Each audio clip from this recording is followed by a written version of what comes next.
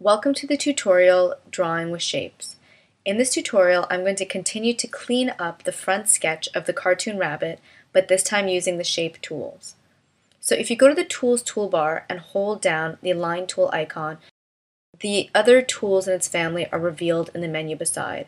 So the three tools that are considered shape tools are the Line, Rectangle, and Ellipse tool. If you then go to the Tool Properties panel, you'll see that you're able to access the other two shape tools, the rectangle and the ellipse, directly from this Tool Properties panel without having to go back to the Tools toolbar. If you start to draw a line, you'll see that you're able to drag the second point of a line anywhere within a 360 degree radius. If you then hold down the Shift key while dragging around your cursor, you'll see that you can draw a perfectly straight line or have the line snap to 15 degree increments. If you then draw a second line and hold down the Option key on Mac or the Alt key on Windows um, and bring it close to the second line, you'll see that it snaps to the end of any other open central vector line in the area. So if we select them both, we can see that the ends are touching. The same thing goes for the rectangle tool. Um, you can draw any free form rectangle that you'd like, or if you hold down the Shift key, your rectangle is drawn in proportion, which basically means that you're creating a square. You can do the same thing for the ellipse tool by holding on the shift key you can create a circle or you can check this option draw circle. This will force any ellipse that you try to draw to be drawn in proportion.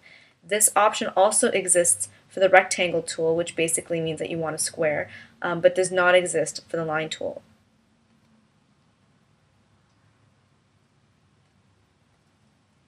To add to this, you can hold down the Alt or Option key and draw your perfectly proportioned ellipse from the center.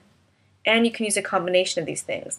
So if you uncheck the Draw Circle option, but hold down Alt or Option while drawing your ellipse, you can draw it from the center, but you don't necessarily have to draw a circle. You can draw any type of a free-form ellipse. Or if you hold down Shift Option on Mac, Alt, in Windows, you can draw a perfectly proportioned ellipse from the center. So any of these those three uh, options or keyboard shortcut combinations will work.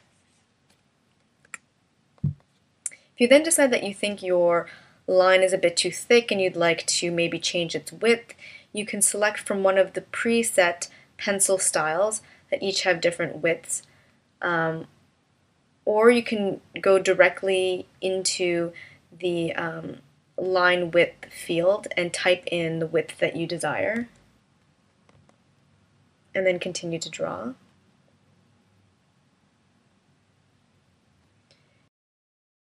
Now let's take a look at some of the options here um, in the center of the tool properties.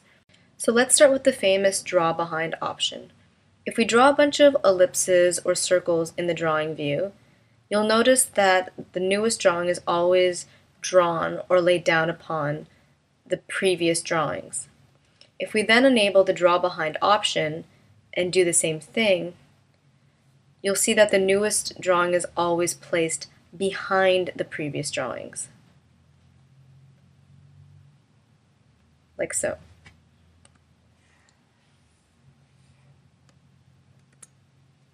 The next options are the snap options. Let's choose the first one, snap to contour.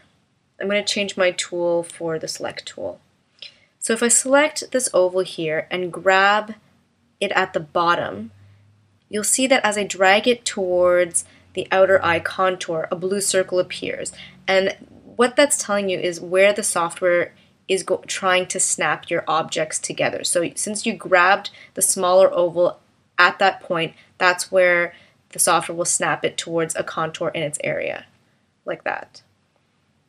If we then select the next option, snap and align, and do the same thing to the second eye, you'll see that as I move the eye around, the point where I grabbed the smaller oval with my cursor um, is being aligned to different contour shapes in the area, and blue guides appear letting you know um, when you've aligned that point to different uh, contours. So I'm going to snap it here and let it go. The last one is a snap to grid. So um, of course we need the grid for that, which I'll uh, enable. And as I drag this square around, you'll see that the point that I grabbed is being snapped along the increments of the 12 by 12 field. So I'll put that back.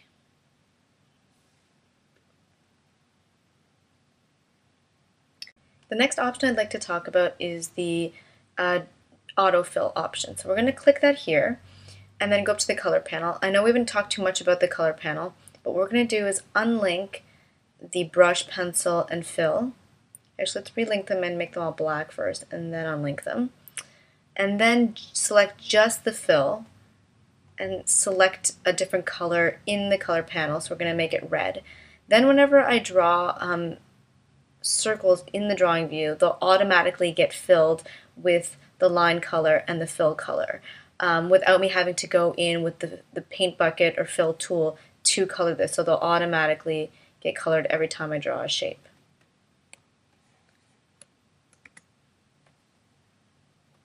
So let's relink that. I'm not going to talk about the automatically create color art option, the last option I will talk about is the auto flatten. So I'm going to click this, and as you guys may have guessed already, as um, I draw a shape and I draw another shape on top of it, these two shapes have now been flattened together. So if I select just one, they both get selected. If I click and drag on one, they both get moved around together. So despite the fact that it looks like they both are still individual objects with their own um, center of vector line, they actually are able to be manipulated uh, together because they are in fact flattened and now exist as one shape.